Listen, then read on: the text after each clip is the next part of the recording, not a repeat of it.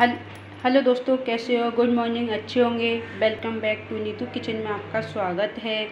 आज बनाएँगे मूंग दाल का चीला। ये हमने एक कटोरी मूंग ली है, जो रात को भिगो के रख दी थी और सुबह वॉश करके यहाँ ले लिए।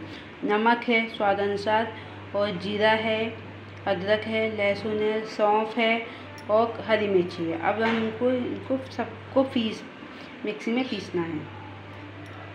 ये हमने मिक्सी में डाल लिया है, दाल डाल दी है। अब इसमें हम जो हमने सामान लिया है, वो सब हम डाल देंगे इसमें। लहसुन है, हरी मिर्ची है, अदरक है और जीरा है। सौंफ है। सबको एक साथ डाल के पीसना है और जो नमक स्वाद अनुसार आपको जितना डालना है उस हिसाब से। और अब इनको हम इसका पेस्ट बना लेंगे जो हमने जार में पीस लिया है। अब देखते हैं क्या इसमें दे दिए मैंने अच्छे से पीस लिया। अब इसको हम बाउल में निकालेंगे। बाउल ले लिया है। इसमें हम निकाल देंगे।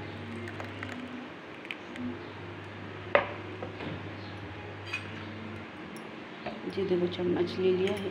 कितना करने पत गया है तो इसमें थोड़ा सा पानी डालेंगे और इसमें जो हमने पानी इसको भी धो लिया है इसको भी डाल देंगे कोई चीज़ को वेस्ट नहीं करना। अब देखिए इसकी कंडेंसी कैसी है जिसको इसे देखना नमक हमने डाल दिया है अब हम इसका घूम दिया ये हमने गर्म कर लिया है अब इसमें एक चम्मच ऑयल डाल देंगे।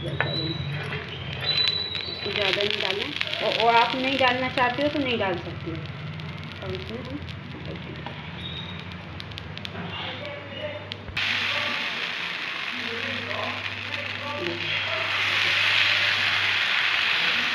जो हमारा चीला बन रहा है मूंग दाल का और ये हेल्दी भी है, आप लोग ब्रेकफास्ट में किसी में भी छोटी मोटी लिए भी खा सकते हैं। आप लोग बनाना अच्छा है।